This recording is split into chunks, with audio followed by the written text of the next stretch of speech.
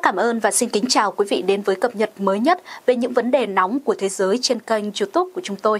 Ngay sau đây là nội dung chi tiết. Theo hãng thông tấn Ukrinform của Ukraine, Tổng tư lệnh quân đội Ukraine AFU Alexander Sisky và Bộ trưởng Bộ Quốc phòng Ukraine Rostim Umerov đã đến thăm các cơ sở chỉ huy tiên tiến của các đơn vị quân đội trong khu vực xung đột ngày 25 tháng 2. Cùng với Bộ trưởng Bộ Quốc phòng Ukraine Rostim Umerov, chúng tôi đã đến thăm các cơ sở chỉ huy tiên tiến của các đơn vị quân đội và đơn vị khác trong khu vực giao tranh chúng tôi đã lắng nghe ý kiến của các chỉ huy về tình hình trong khu vực. Tình hình hiện phức tạp ở nhiều hướng, cần phải kiểm soát liên tục. Ông Sisky viết trên trang Facebook rằng đối phương thường xuyên tấn công vào các vị trí của quân đội chúng ta. Ở diễn biến khác, Tổng thống Ukraine Volodymyr Zelensky phát biểu tại lễ kỷ niệm 2 năm diễn ra xung đột với Nga vừa qua rằng chúng ta đã chiến đấu suốt 730 ngày, chúng ta sẽ giành chiến thắng vào ngày vĩ đại nhất cuộc đời mình.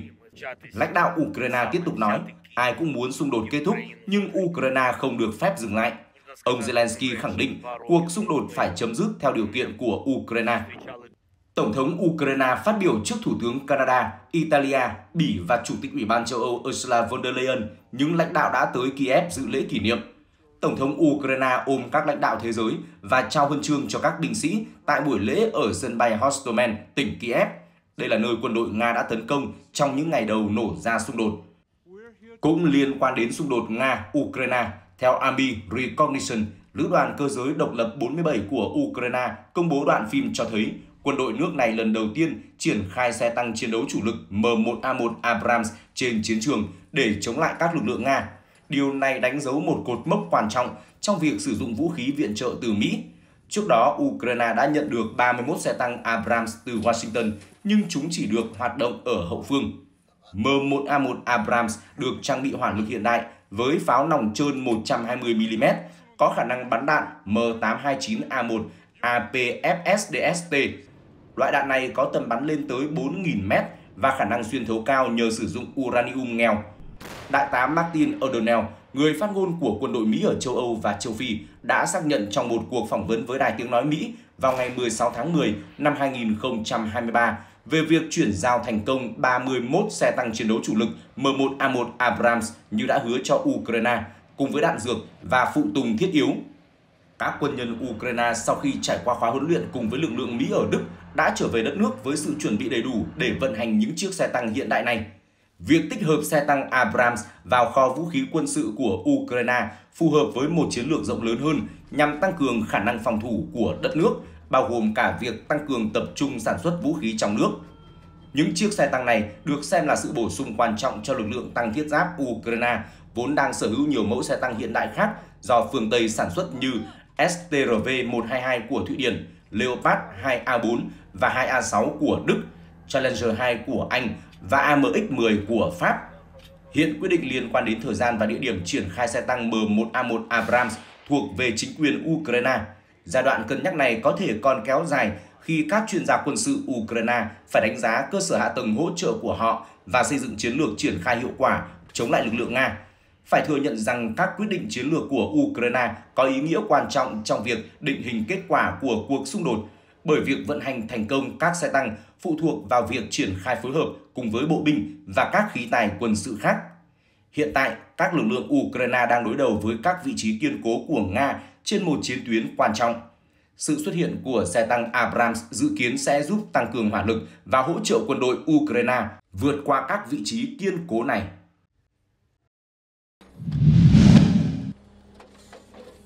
Trong suốt 2 năm xung đột, quân đội Ukraine đã nỗ lực chiến đấu với lực lượng Nga để giành lại lãnh thổ.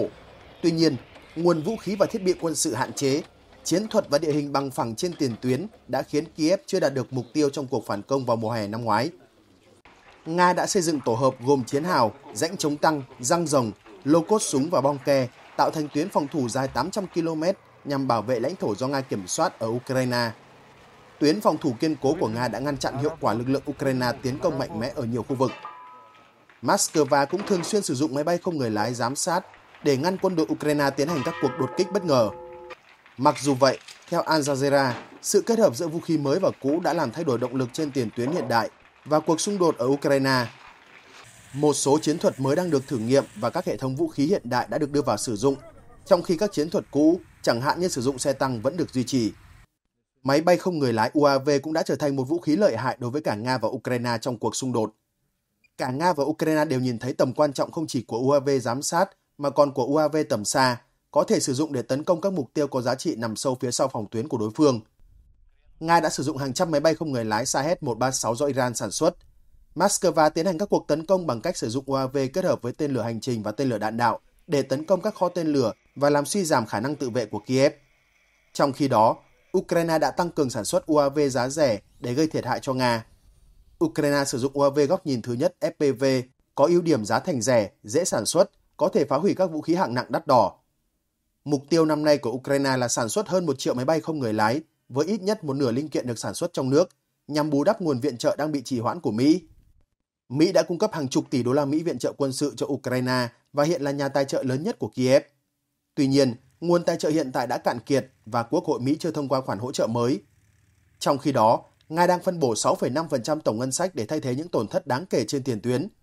Một ước tính do Viện các quân chủng thống nhất Hoàng gia Anh RUSI công bố trong tháng 2 cho biết, Nga hiện có thể sản xuất 125 xe tăng mỗi tháng, đủ để thay thế những chiếc bị phá hủy trong các cuộc giao tranh gần đây. Các quốc gia thành viên NATO được kỳ vọng sẽ bù đắp sự thiếu hụt đạn dược và vũ khí cho Ukraine khi Mỹ chưa thể ngay lập tức cung cấp viện trợ cho Kiev. Ngoài UAV, thúc đẩy sản xuất đạn pháo hiện được Ukraine coi là ưu tiên quốc gia. Một ước tính cho thấy Ukraine cần thêm 240.000 quả đạn pháo mỗi tháng để có thể chiến đấu với lực lượng Nga. Do hầu hết các cuộc giao tranh đều được tiến hành ở tầm xa, nên đạn pháo trở thành yếu tố then chốt cho cả Nga và Ukraine. Nga đang tăng cường sản xuất đạn pháo và hệ thống tên lửa phóng loạt. Ước tính, Nga sở hữu lượng đạn pháo gấp 5 lần Ukraine. Bộ Quốc phòng Ukraine cho biết, Kiev chỉ có thể bắn tối đa 2.000 quả đạn pháo mỗi ngày, tức chỉ gần bằng 1 phần 2 công suất của Nga. Cuộc xung đột Nga-Ukraine kéo dài 2 năm đã cho thấy vai trò của một số loại vũ khí.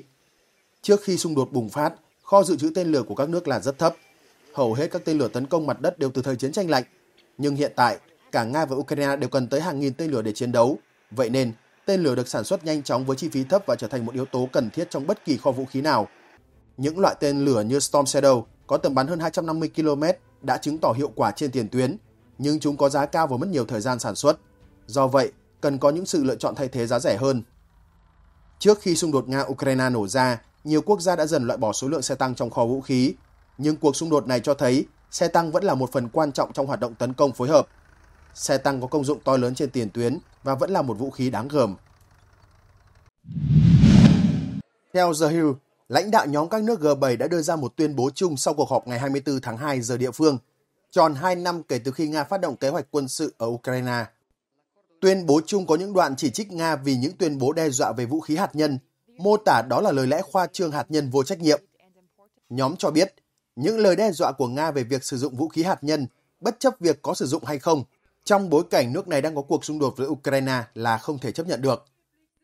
Các nhà lãnh đạo G7 cũng nhấn mạnh sự ủng hộ hoàn toàn của họ đối với Ukraine và tuyên bố sẽ áp đặt thêm các biện pháp trừng phạt đối với Nga, nhắm vào các công ty và cá nhân giúp quân đội Nga mua vũ khí hoặc hỗ trợ sản xuất. Tuyên bố của G7 được đưa ra sau khi Tổng thống Mỹ Joe Biden công bố hơn 500 lệnh trừng phạt mới với Nga. Không chỉ vậy, ông Biden cho biết Mỹ cũng sẽ áp đặt các hạn chế xuất khẩu mới đối với gần 100 thực thể bị cáo buộc hỗ trợ Nga, cùng với các biện pháp nhằm giảm hơn nữa doanh thu từ năng lượng của Nga. Người đứng đầu Nhà Trắng nói thêm rằng các biện pháp này nhằm buộc Nga phải chịu trách nhiệm về cuộc xung đột ở Ukraine và sự thiệt mạng của thủ lĩnh phe đối lập Alexei Navalny. Ông Biden nhấn mạnh các biện pháp sẽ đảm bảo rằng ông Putin phải trả một cái giá đắt hơn nữa.